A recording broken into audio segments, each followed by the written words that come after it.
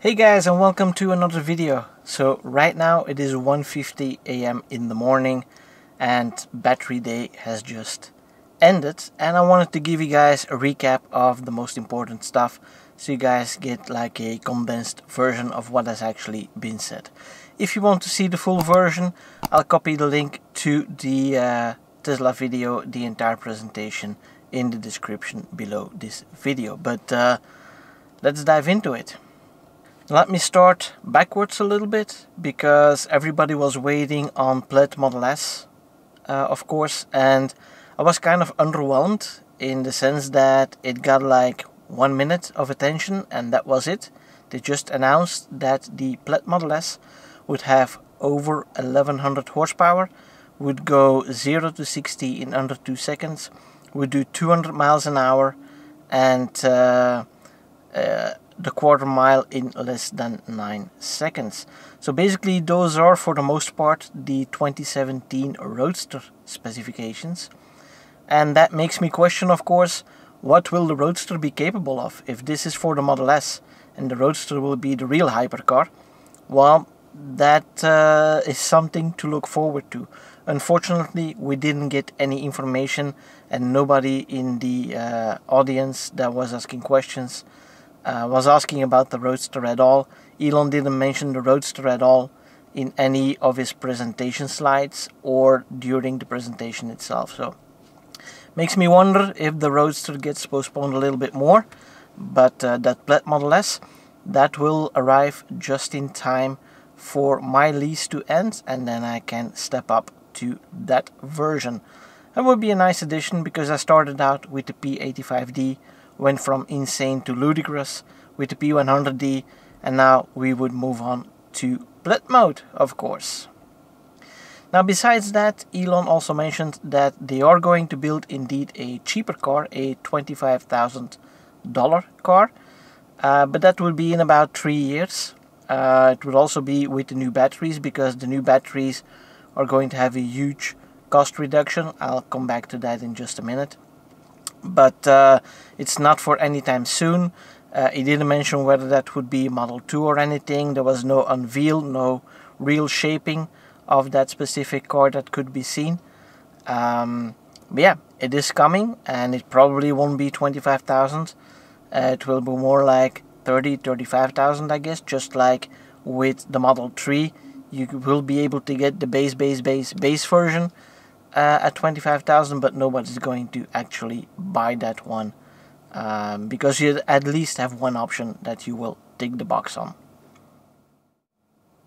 Now when Elon came on stage at first for the shareholder meeting you could see he was really proud of what they have achieved. He gave an overview of what they have achieved over the past years and, and also over the past year and he was very proud of how fluent and how smoothly the Model Y ramp up actually went.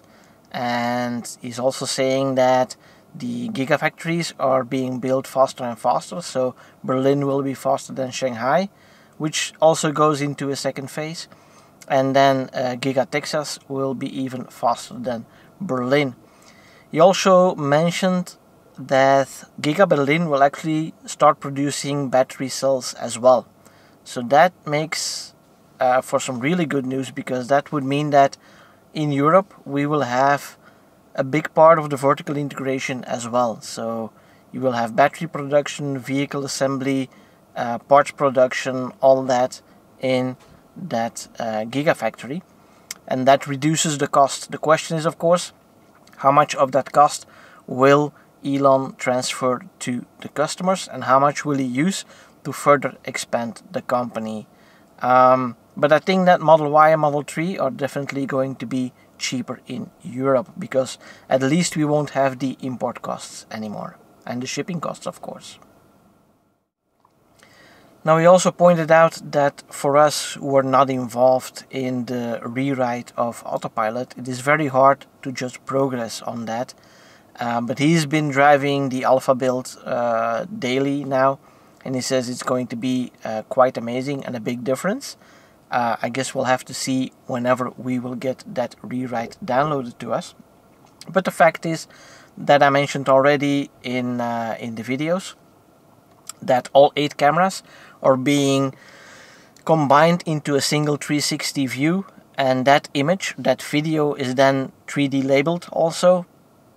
Actually more like 4D labeled because he adds some uh, time difference as well, like what changes from one frame to the other, of course, to detect moving parts and the speed of those moving parts naturally. Um, so yeah, I can't wait to get that because that would definitely eliminate some of the issues that we are all experiencing at the moment. Now after a brief pause after the shareholder meeting, a Battery Day event was actually kicked off and as soon as Elon um, was joined on stage by the VP of uh, Powertrain and Energy, uh, we got a short introduction, but then it became quite quickly clear that the whole presentation was basically focusing around reducing the environmental footprint, localizing production, reducing lead times, uh, reducing the costs, and increasing production, of course. And combining all of these is a very daunting task, uh, and they explained in uh, rather great detail what they are planning to do with the actual batteries. Now I'll try to compose the headlines here. If you want to see the details, please look at the video uh, from the Tesla presentation.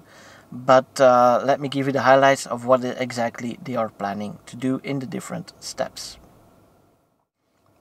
Now their big master plan here is that they want to reduce the cost. They want to halve the cost of um, the battery pack per kilowatt hour. Some say they are already approaching the $100 mark, and if they could halve that, that would be that would be totally end game for uh, any ICE car. Um, but anyway, they're, they're definitely going to drop way below $100 per kilowatt hour if they can actually execute this plan. Now it's a um, four five step uh, plan here where they will change the cell design so the new cells are going to be uh, a 4680, so 46 millimeters in diameter, 80 millimeters tall. Now this new form factor alone is responsible for adding 16% range to the car. Now this is of course not because of the form factor by itself, but the fact that that form factor uh, makes that you have less material to work with. Uh, bigger cells means less aluminum on the outside, uh, less wasted space between the cells, uh, and so on and so on. So that will introduce more capacity um, and that will also reduce the cost per kilowatt hour by 14%. Now the second part is in manufacturing and there they want to reduce as many steps as possible, keep it as simple as possible. Um, and uh, work with uh, dry anodes also, for example. Uh, but we'll come back to that later. But with the dry anodes, the uh, process of creating that film that is then rolled up into that new uh, 4680 cell uh, is going to be simplified by quite a bit, reducing cost, reducing lead time, increasing capacity, and increasing volume of course, if the lead time is reduced, as long as they can get the parts sourced. Um, now this manufacturing step, if you want to look at the details, again, go to the uh, actual uh, presentation to get all the nitty-gritty details.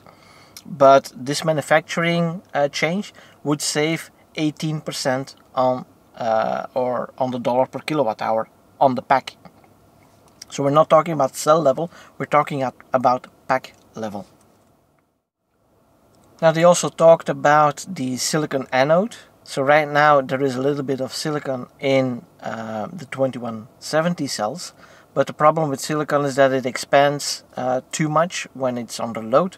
So that's really not good. So they designed the new cell to allow for that expansion also, and that alone will also uh, increase uh, or bring with it a 5% uh, cost reduction on the dollar per kilowatt hour on pack level. Um, next, they want to uh, create a completely cobalt free but high nickel uh, battery, that would of course be really good because cobalt is uh, some nasty stuff. It is really stable to be used, but the way it is mined, there's a lot of child abuse in that and uh, a lot of horror stories around that. So it's good that they want to move away from uh, using cobalt. But they are going to use nickel, which is cheaper and more energy dense.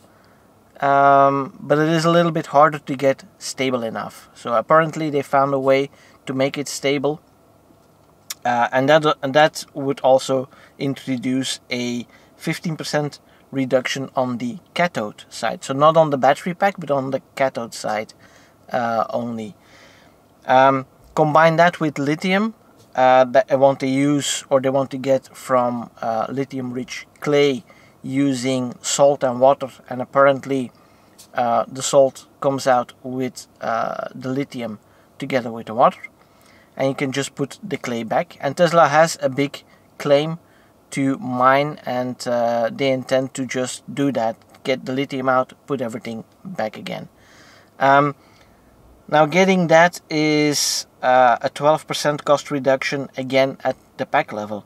Now if you combine everything uh, that means that they will have a range increase of 54% and a cost reduction of 56%.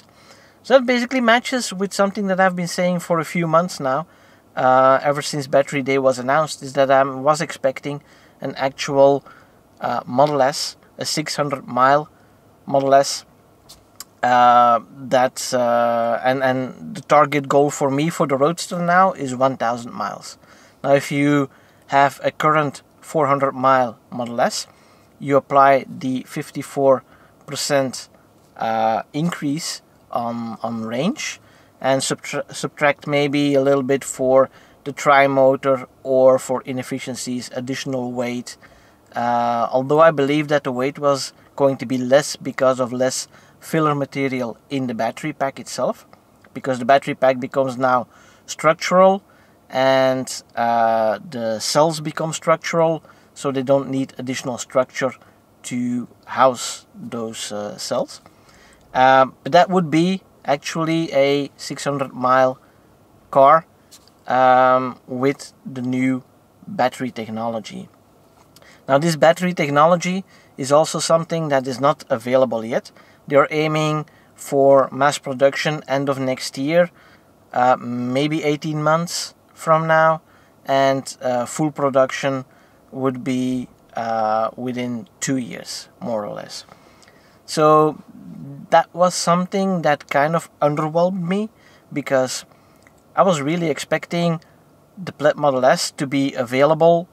Uh, well, you can order it now, but it would be available with the new technology and uh, it would be available uh, basically right away. And that is not the case because you can order it, but it's only going to be delivered at the end of 2021 in the US, probably a little bit later in Europe. Oh yeah, one other important thing of course is that Tesla is apparently already recycling the battery cells from their vehicles, but they want to become more proficient in it. So as soon as they have more vehicles on the road and those vehicles are coming end of life, of course those batteries can be recycled and that is lithium and nickel that does not need to be mined anymore because they can just recycle those components. I mean, if a battery goes bad and you get degradation, the actual the nickel and the lithium is not degrading at all. You can completely reuse those components. Uh, it's just that in the uh, chemistry there is like a layer buildup on one side that forms a barrier for the electrons to travel through and that is basically your degradation how thick that layer actually is um, so yeah those batteries could basically be fully reusable because they can reuse the aluminum on the outside, they can reuse the lithium, they can reuse the nickel that's in there. And with the cell design, we also have a tabless cell design, which means that you have a bigger contact patch within the cell instead of just the small tab that needs to lead every current in there. That means that the floodgates are open basically you will get a lot higher charge rates and a lot less heat uh, generation during the charging cycles. So potentially, uh, Elon didn't mention it, but my point of view here is, or my opinion here is that potentially we could get like 250 kilowatts of charging or the 350 kilowatts of charging, but for a very long time on the cell, maybe like all the way up to 60-70% before it starts tapering off, and even then maybe continue on uh, or at 150 kilowatts until 80 uh, or maybe even 90% we'll see what the characteristics there are but because there is a bigger contact patch the load can be distributed a lot easier which means that uh, it's like basically like using a thicker cable you get a lot less resistance so you get a lot less heat in the system. So there you have it. These are the highlights from battery day. Um, I found it really interesting and I would like to go more in depth into what they actually discussed now with regards to the uh, battery design and what it actually will mean practically. Um, so I probably rewatched the video a couple of times to get some additional details from the slides uh, because right now I was taking notes the whole time during the presentation of course. Um, on the other hand I was hoping that it would be more imminent and more um, like right now we can do this instead of just uh, saying okay this is going to be working in the next 12 to 18 months. They actually mentioned with the dry anode that the system is not working yet. So they know what they want to do. They have it on the lab scale but now they need to have it in mass production and that system is not working yet. And they think they need to redesign the machine uh, like seven or eight times before they get to the mass production uh, stage. But yeah, interesting times ahead of us. Um, I'm really looking forward to what this means for all the different cars. Uh, and I'm really looking forward to seeing what that means for the Roadster, for the Semi, and for the Cybertruck, of course. As usual, if you like the video, please give it a thumbs up and make sure you subscribe to the channel and don't forget to click that little bell icon so you don't miss out on any new videos. And for now, thanks for watching. See you guys in the next one. Bye bye.